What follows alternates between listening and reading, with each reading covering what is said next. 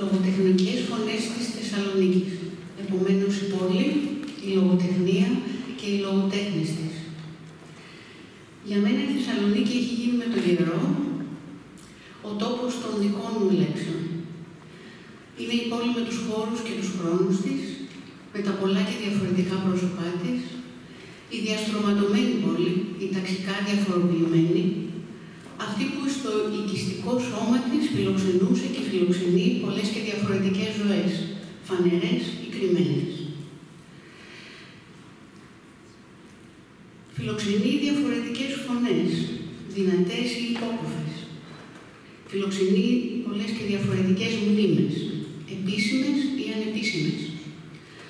Αυτή η πολυσυλλεκτική, πολύβουη, αντιφατική, ανταγωνιστική μέσα στην ιστορική της ύπαρξη πόλη, γίνεται αναπόφευκτα και διαρκώς, άλλοτε συνειδητά και άλλοτε ερήμην ένα εσωτερικά, ένα εσωτερικό, ψυχικό και πνευματικό τοπίο, μια οθόνη στην οποία αποκτούν τη δική του ζωή τα πρόσωπα των ιστοριών μου.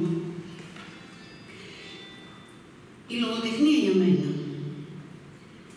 Η λογοτεχνία για μένα είναι αναπόδραστα ένας τόπος όπου προνομιακά συνεπάρχουν το προσωπικό και το συλλογικό. Τα βάθη της ανθρώπινης ψυχής με τα βάθη του ανθρώπινου κόσμου. Οι ορατότητες του καλλιτέχνη και οι ορατότητες της εποχής του.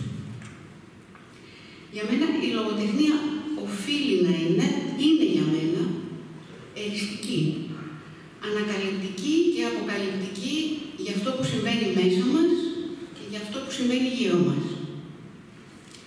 Είναι υπονομευτική για τις εξουσίες που ορίζουν τα κοινωνικά σύνορα και κατασκευάζουν τα ανθρώπινα πεπρωμένα. Οφείλει να είναι, είναι για μένα, υπονομευτική όμως και για τις μικρές και τις μεγάλες εξουσίες που κουβαλάμε μέσα μας, αθέατες, συγκαλυμμένες, ενσώματες κοινωνικές δομές, που χειραγωγητικές και υποδουλωτικές μας δένουν χειροπόδαρα, απομακρύνοντάς μας από αυτό που υποτίθεται πως είναι το επιθυμητό, το βασίλειο της ελευθερίας. Ο λογοτέχνης για μένα. Ο λογοτέχνης για μένα είναι αυτός που χειρίζεται το μεγεθυντικό φαγό που κουβαλάει μέσα του με επιδεξιότητα. Αυτός και αυτή που μιλά για όσα διακρίνει κάτω από τις ανθρώπινες επιφάνειες. Είναι αυτός και αυτή που δίνει φωνή στις σιωπές.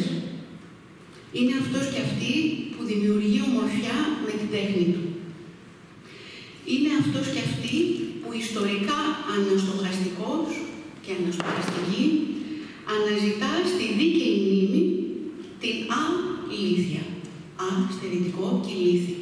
Και τις αλήθειες που μπορούν να αποτελέσουν ένα τόπο αξιών, ένα εφαλτήριο αναζήτησης και διεκδίκησης αυτού, αυτού που ακόμα δεν έχει βρει τον τόπο του, δηλαδή της προσωπικής και συλλογικής o do Pedro. Fez-te o bonito e dobrou-te.